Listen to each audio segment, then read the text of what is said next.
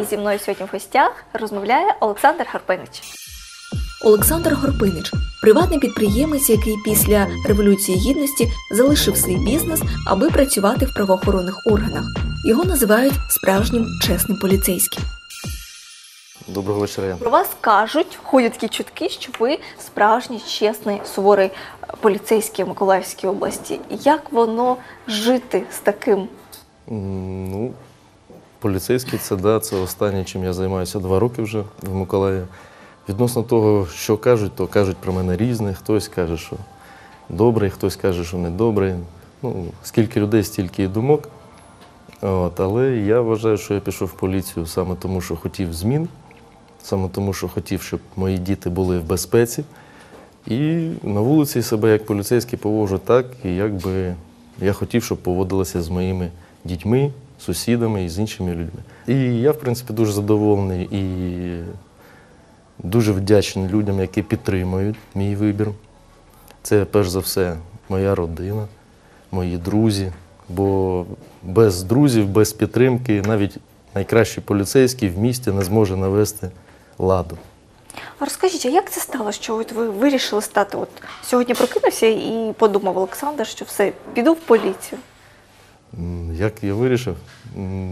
Почалося все з того, що почалися розмови щодо реформування системи МВД.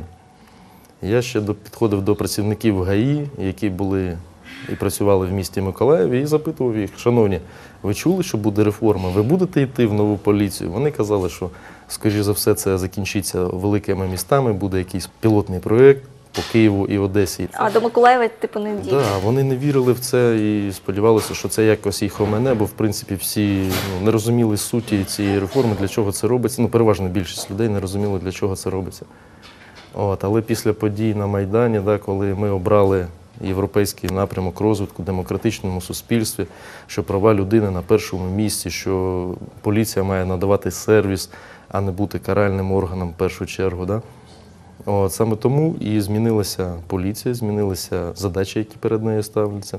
Є риси характеру, яким повинна бути людина, щоб бути от справжнім поліцейським, стояти от на сторожі. Ну, вміти висипатися, мабуть, за 6 годин. От, ну, чесно, дуже багато поліцейських скаржаться саме на брак часу. От, поліцейський має бути гарним менеджментом свого часу. Я за освітою менеджер-економіст, да, і нас вчили, є картка робочого дня. Тобто, ви розумієте, коли ви прийшли на роботу, коли у вас перезмінка, коли ви підготовчий процес до роботи виконуєте. Да? Тобто ми формували собі е, малюнок дня і потім раціонально використовували час. В поліції те саме. Часу не вистачає на те, щоб порозмовляти з правопорушниками, для того, щоб оформити всі матеріали, щоб е, отримувати нові знання, щоб підтримувати себе в гарній формі. І плюс до всього ще треба встигати поїсти, машину помити. Ну, тобто дуже багато чого треба встигнути за саме робочий день. І оце все треба вміло організувати. Якщо людина прийшла просто за зарплатою і в неї не стоїть бажання щось принести, щось зробити краще, відповідно, вона не буде ставити перед собою оці задачі, про які я кажу, і вона не зможе бути, як ви кажете, гарним поліцейським. Да? А що особисто вас надихає? Тому що я так зрозуміла, що дуже важка праця щоденна, і ти не висипаєшся, не вистачає часу на родину, на там тренування. Ну тобто, Якщо мене надихає те, що коли я буду старенький, то будуть е, поліцейські, які будуть працювати так само, як я, або краще, або ну, вони будуть знати, що ось так треба робити. Що можна робити так, і тоді не буде якихось е, злочинів, чи не буде проблем, чи ніхто не звинувачить в хабарництві, чи ніхто не буде скаржитися, що поліція там в райвідділках людей е, піддає тортурам, розумієте? Тобто можна ну, нормально, спокійно працювати. І тоді Саме просто своїм прикладом хочу продемонструвати, що в цій країні можна нормально жити, не порушувати закон. От, і, звичайно, залишити цю країну нашим нащадкам, а не так, щоб всі полишили цю країну і не зрозуміло, для кого вона залишилася. чи важко вам так в такому темпі працювати? Чи у вас є сім'я? Вона також потребує вашої уваги? Звичайно, це тяжко, важко. Я цілий рік провів в Кривому озері без дружини, без дітей. Це для мене було таке випробування і, в принципі, одним з головних моментів, що- що мене змусило повернутися до Миколаєва, це була безпосередньо моя родина. Бо е, на першу, все ж таки, на перший рядок я ставлю свою родину. Саме для родини я роблю місто безпечним, саме для родини я е, купую щось в квартиру, ну, ми щось робимо, да, щоб наша родина була е, в затишку, в спокої і була кохання в нашій родині. А якщо відстань, якщо час він впливає негативно на ці стосунки, то смисл працювати далі, смисл щось робити, якщо я втрачаю своїх дітей і дружину. Тому повернувся в Миколаїв і зараз А чому ви не привезли їх до Кривого озера? до Кривого озера, ну, в принципі, е, слушне питання. Дуже багато людей пропонували їх. Квартиру, напевно, і І- допомогти. І, ну там будинки в Кривому озері, будинки, там квартир ну, трошки маловато. От, е, але вже діти в мене ходять, е, старший син 9 років ходив в 22-гу школу, вчиться, ходить в гурток, тобто в нього вже тут сформований свої друзі, коло друзів. І я, в принципі, бачу більше перспектив в Миколаєві. Плюс я народився в Миколаєві. Миколаїв це моя батьківщина. І, як то кажуть, треба усюди погостити і потім е, на батьківщину привезти найкраще, правильно? Так само я був в Європі, я був у Сполучених Штатах. І кожен раз, коли я сюди повертався, я щось привозив сюди в Миколаїв таке, чого ну, не вистачало для покращення ну, чи чогось нового. Да? От, саме, наприклад, зараз, коли ми бачимо, що Єв- Європа пішла там в розвитку своєму вперед, треба частіше. І ви бачите, що в принципі дуже багато людей за досвідом звертаються в Європу, їдуть в Європу, потім повертаються в Миколаїв, і в Миколаєві намагаються ці е, ну, задумки втілити у життя. От саме тому я розумів, що в Криве озеро я приїхав на певний період, плюс там була кризова ситуація, я себе позиціонував як кризисний менеджер, так, виправити ситуацію і назад повернутися до свого стилю життя і до свого середовища. От, в принципі, я вважаю, що ситуація була виправлена. От, подальше перебування, ну, я для себе вже аргументував, чим я не бачив там подальше. І тому повернувся в Миколаїв.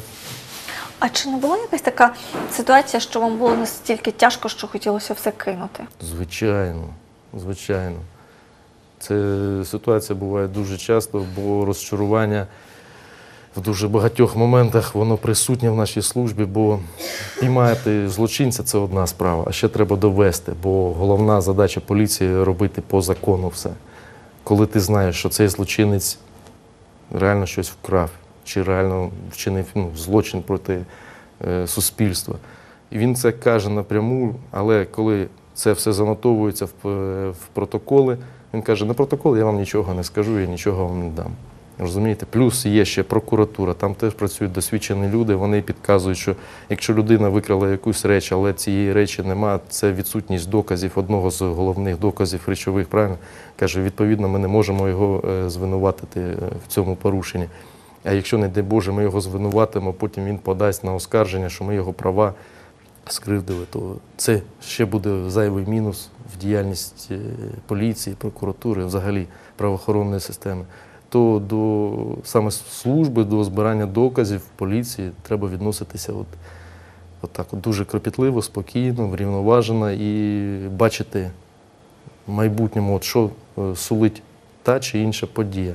Бо знову ж таки, у нас дуже багато людей ходить там з ножами, з пістолетами, там, але вони не є там чи вогнепальною, чи холодною зброєю. Ця зброя вилучається, направляється на експертизу. Експертиза не підтверджує, що це є холодна чи вогнепальна зброя. Це все має термін, ну, строк, да, час, має кошти, бо за це люди отримають е, в сервісному центрі винагороду у вигляді грошей, зарплати. Правильно? І потім ці речі повертаються цьому, е, ну, цьому громадянину, який з цими речами ходив по місту. Він відчуває з одного боку безкарність, бо наші поліцейські підійшли, сказали, що не можна ходити там з ножами чи зі зброєю.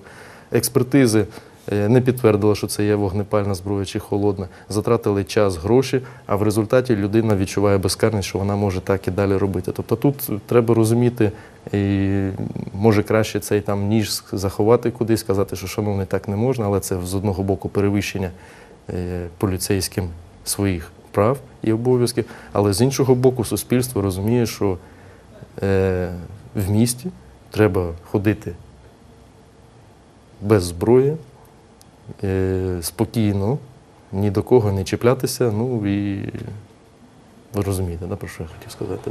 А я скільки я зрозуміла, ви стали поліцейським, коли вирішили стати, коли а, вже була сім'я. Так, звичайно. А як Мені навіть- 35 років. Дружини, як ви віднеслись до того, що ось, е, яка ваша професія була, де ви працювали? Я працював в будівництві. Ну, досить спокійної, я сподіваюся, професії до взагалі. Ну, дивіться, коли відбулася у нас е, революція, оце остання наша крайня революція, то в принципі життя перевернулося з ніг на голову стало все. То, в принципі, вже життя не було таким, яким воно було раніше. Бо, в принципі, ця криза, вона і бізнес е, Тобто це для вас стало відправною точкою, яке все, все змінило. Однозначно, да. Ну ми ж тоді, ви розумієте, да, сподівалися, що йдемо в Європу. Тут е, Віктор Федорович сказав, що ми йдемо в іншу сторону. Вліво-вправо все загубили. Давайте ж збиратися далі, куди ми йдемо. Вирішили, що все ж таки в Європу. Позбулися чи зібрали всі наші е, средства для того, щоб знову щось відновити. Тобто ситуація була така, ця революція, вона дуже болісно для нас вся минула.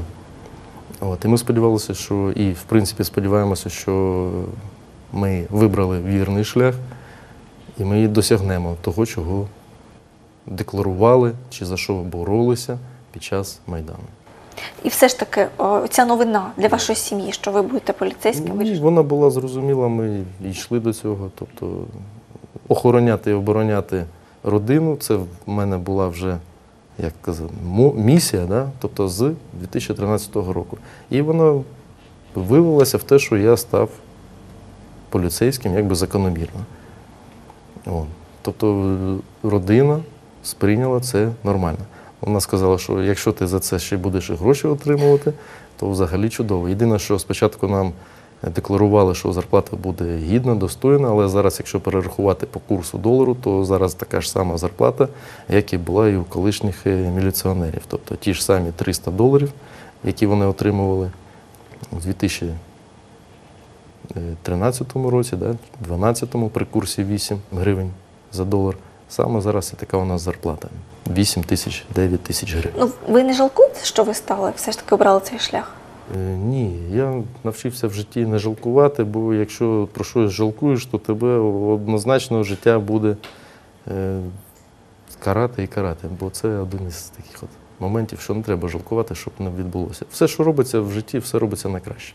Ви взагалі по життю ідеаліст? Так, да, звичайно.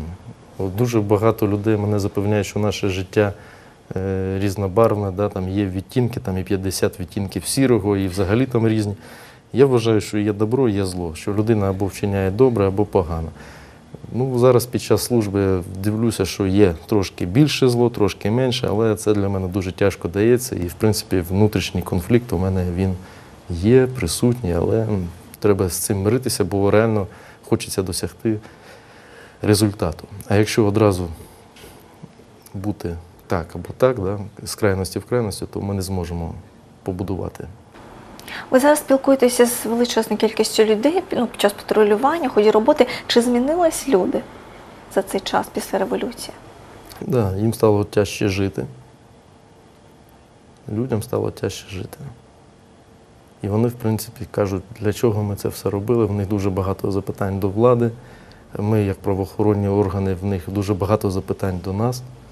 От, і плюс люди відчувають себе менш захищеними, бо на нашій території йде війна, багато зброї, багато людей, які звільнилися з місць позбавлення волі, плюс система реформування поліції принесла як позитивні наслідки, були і негативні.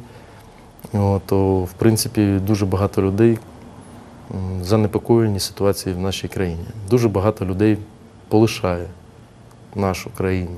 Це, в принципі, дуже так прикро. От, але я стою на тому, що я поліцейський, я борюся за чесність, за правду. І чому я маю з цієї країни уїжджати, а люди, які порушують закони, які беруть хабарів чи вчиняють корупційні дії, почувають себе тут добре і в порядку. Мене це дратує, бентежить. І я все ж таки сподіваюся, що переможе саме правда, чесність і порядність. А вам не кажуть, що ви живете в якомусь світі занадто ідеальному? Кажуть і кажуть, що в окулярах цих рожевих чи які, да. Да, кажуть це.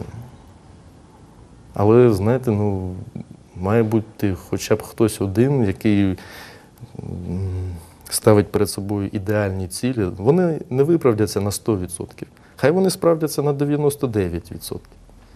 Але ми будемо йти до саме найкращої своєї цілі і не зробимо ми 100%, зробимо 99%. Але ми ж щось зробимо. А якщо просто сказати, що все погано, все тяжко, важко, ну навіщо так жити? Ви реально е, налаштовані йти до кінця до цього, до цієї мети?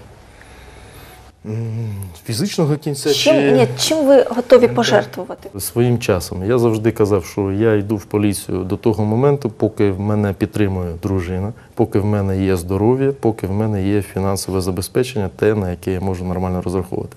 Бо зараз зарплата, яка в поліції, вона не дає змогу мені е, підтримувати той стиль життя, який в мене був до цієї поліції, так? до того, як я закрив два підприємства, які займалися будівельними роботами.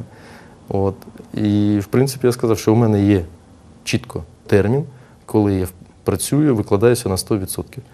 Після себе я готовий залишити робоче місце, людей, які мене підтримують і які мають той самий вектор розвитку, який я. Тобто, моя ідея запустити цей маховик, щоб він працював, працював. А вам не пропонували піти в політику, балотуватися від якоїсь партії? Дивіться, була така ідея. Е, Під час виборів е, президента України в 2014 році я був головою центрального агітаційного штабу Миколаєва. Тоді принесли перемогу кандидату нашому, да, Петру Олексійовичу. Тобто політика для мене ну, це був вже етап такий в моєму. Е, Це був гарний досвід. От. І під час е, міських виборів е, було прагнення і бажання, в принципі, потрапити в політику, але я розумів, що політика це, в принципі, робота, ну, вона не має реальних механізмів для зміни суспільства. Я хочу безпосередньо змінити суспільство. Розумієте, бо стати гарним керівником чого? Я хочу, щоб люди були інші, щоб вони мали інші цінності, щоб вони чогось іншого хотіли. А політики, да, в них теж велика робота, вони розпоряджаються майном, вони виробляють напрямок для руху да, суспільства, але вони не впливають. Все ж таки, застосування фізичної сили є у поліції. Депутат не може застосовувати ні фізичну силу, ні спецзасоби, ні вогнепальну зброю, розумієте? Саме тому, щоб бути ближче до людей, я і пішов в поліцію, бо маю, маю реальні механізми, вони реально прописані. От. То, в принципі, був варіант політику, і я обрав варіант в поліцію. Скажіть, е, ваша дружина, чи легко бути вашою дружиною? Ні, дуже Чи легкий? тяжко. Це дуже тяжко. Я і ревнивий, і дуже мало вдома буваю, і приходжу, не знаю, як користуватися пральною машиною, і взагалі приготувати їжу. Тобто в побуті ви безпомічний. В принципі, так. Да. То, в принципі, те, що робить моя дружина, це її подвиг, і це її внесок, так би мовити, в поліцію України так само. І взагалі в суспільство наше. Бо я пам'ятаю, чітко дуже пам'ятаю е, перший день після весілля і пам'ятаю слова в ЗАГСі, коли нам сказали, що ви тепер ячеєчка суспільства. Тобто, і от яка буде ячеєчка, таке і буде суспільство. І воно от якось так поступово. у нас є двоє хлопчики, да, вони вчаться в школі, вони отримують освіту, вони там не б'ються, там, не жебракують. Тобто ми будуємо європейське суспільство, яке знає англійську мову, от, які вміють там, читати книжки, писати українською мовою. Тобто ми виховуємо ці цінності. У нас вдома український прапор. От, е, тобто ми підтримуємо те, щоб наші діти були гідними наших нащадків. Чи вистачає вашим синам виховання батька? Як вважаєте, чи ви відчуваєте, що потрібно дати більше тата? Та звичайно, тато має бути постійно, як і мама постійно має бути біля дітей, але ви розумієте, що треба і гроші заробляти, треба і щось робити, і самореалізовуватися. Е, Тут як зазвичай, має бути якийсь компроміс в усьому. Скільки часу бути з дітьми, скільки на службі. Зараз вже от перевірив домашнє завдання сина, там прочитали сторінку 162, там по укрліту, там підготували, як там підтримувати порядок, чистоту в домі, да, 4 клас, от у 22-й школі зараз там такі теми проходять. Тобто, да, звичайно, приймаю участь, Зав- завіз його на спортивний гурточок, там зараз займається. Ну, тобто, обов'язково. Бо знову ж таки, спілкуючись з поліцейськими, да, дуже часто кажуть, що е, діти поліцейських вони є порушниками законів, бо батьки завжди на службі не приділяють достатньої уваги своїм дітям. Саме тому я і кажу, що для мене родина це все. Якщо в родині буде погано, да, може бути таке, що якщо наша країна не зможе викарабкатися з такої от прірви, в яку ми зараз потрапили, то прийдеться змінювати цю країну. Бо я реально хочу, щоб мої діти жили краще. Наприклад, мій дід один, він жив е, в Запорізькій області, село Гуляйполе. Да? Він підняв наше прізвище, нашу родину, переїхав до Миколаєва. Миколаєві ми чогось досягли. Тобто треба підвищуватися, треба самовдосконалюватися і підіймати свій рівень. Да? Тобто, мій батько, наприклад, не знав, що буде мобільний телефон чи комп'ютер. Ми вже це знаємо. Я не знаю, до чого наші вже діти будуть ну, відноситися як до звичайних речей. Треба, треба йти в ногу з розвитком, розвиватися і ні в якому разі не зупинятися і не затискатися в своєму е, світові, що я досягнув цього і більше я нічого вже не хочу. Яку мету ви зараз ставите перед собою? Мету. Мету, мету, мету, мету. Змінити патрульну поліцію, бо те, як воно почалося, воно почалося з помилок. Багато чого ми пропустили в своїй службі, і, в принципі, є моменти, які хочеться виправити. Хочеться, щоб були полагоджені пріуси, щоб поліцейські відчували себе більш захищеними. От, е, то, в принципі, мої зараз задачі це стоять по поліції. Але якщо до Нового року ми це не зможемо зробити, то в принципі в мене мета пошук іншої, іншого напрямку розвитку. Бо тоді, якщо поліція не зміниться в найближчий час, не підвищаться зарплати, не зміниться відношення до автопарку, до людей, то тоді реформа для мене реально закінчиться. Я все ж таки бажаю, щоб попри все, попри всі зміни в вашому вашій сім'ї, все було гаразд, тому що я бачу, що це для вас найголовніше. Дякую. Да, дякую. Да, все добре. А я дякую кафе Сете за затишок.